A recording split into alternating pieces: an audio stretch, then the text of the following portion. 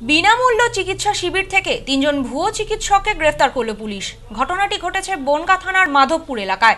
ধৃতদের তোলা হয় আদালতে। চিকিৎসা শিবির থেকে গ্রেপ্তার তিন ভুয়ো ডাক্তার।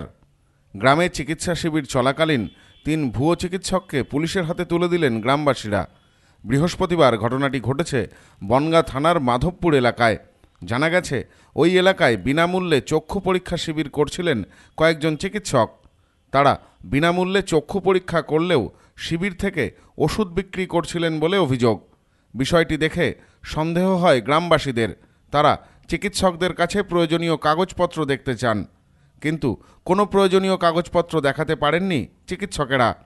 এরপরই তাদের আটক করে পুলিশে খবর দেয় গ্রামবাসীরা। ঘটনাস্থলে পৌঁছায় বনগা থানার পুলিশ। পুলিশ ঘটনাস্থলে গিয়ে চিকিৎসকদের গ্রেপ্তার করে।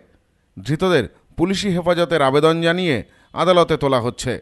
ধৃতদের নাম জগৎ শ্রীবাস্তব, নারায়ণ শ্রীবাস্তব ও বিপ্লব কুমার মণ্ডল।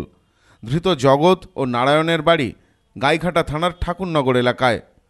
ধৃত বিপ্লব কুমার মণ্ডলের বাড়ি বনগা থানা এলাকায়। এদিন ঠাকুরনগর এলাকায় গিয়ে দেখা যায়, অভিযুক্ত জগৎ কোনো রকম বৈধ কাগজপত্র ছাড়াই রীতিমতো চেম্বার খুলে চোখের চিকিৎসা করতেন। চোখের চিকিৎসার পাশাপাশি অপারেশনেরও ব্যবস্থা ছিল তার চেম্বারে। উনি আমি ডাক্তার হিসেবেই জানি আমরা এবং আমি নিজেও একদিন চোখ দু একবার দেখিয়েছি। তো আমার কোনো অসুবিধা হয়নি। এখন উনি কীরকম ডাক্তার পাস করা ডাক্তার না কয়েক ডাক্তার তা তো আমরা জানি না।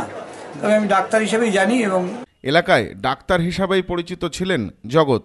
তার গ্রেপ্তারের খবরে স্বাভাবিকভাবেই হতবাক স্থানীয়রাও। হ্যাঁ আমরা তো জানি ডাক্তার আর ডাক্তারি তো করছে উনি। আমি তো জানি প্রায় পঁচিশ বছর তো কম করে হবে কুড়ি পঁচিশ বছর।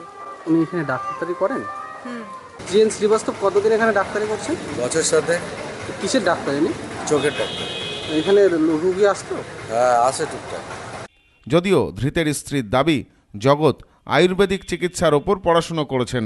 কিন্তু প্রশ্ন উঠছে আয়ুর্বেদিক চিকিৎসার ওপর পড়াশুনো করে চোখের অপারেশন কি করা সম্ভব? যদিও এর কোনো সদুত্তর মেলেনি। কি নিয়ে পড়াশোনা করেছেন উনি? আয়ুর্বেদিক নিয়ে। আয়ুর্বেদিক নিয়ে উনি তারপরে কি ডাক্তারি করছেন?